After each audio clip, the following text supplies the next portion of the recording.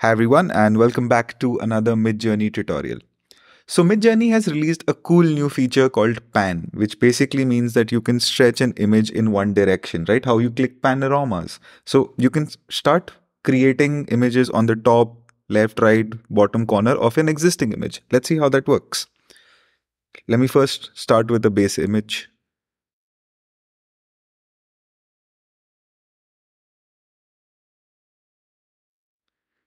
All right, so let's say that I liked maybe this one, right? So I'll upscale the second image. And now from here, you have these cool new four icons where you can start panning the image in one direction, right? Let's see what happens if I pan it in the right direction. So as you can see, what Midjourney is doing here is using the same prompt to create a new image on this side and then add it to the existing image. All right, this looks good.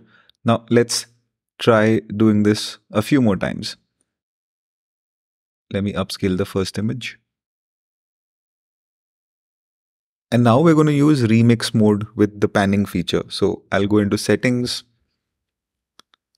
turn on the remix mode.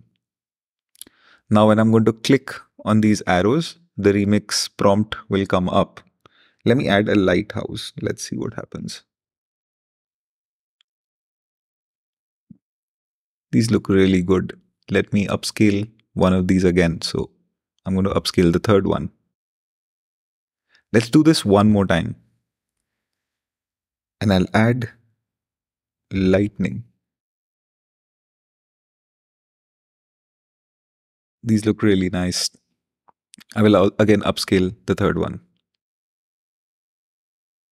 So I guess you get a gist of it, right? You can you can start doing this in any direction. Uh, use the remix mode, add more keywords if needed, and yeah, I think it's a pretty cool new addition over the Zoom features that we already had.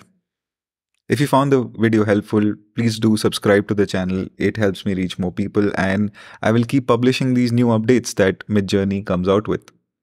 So see you in the next one.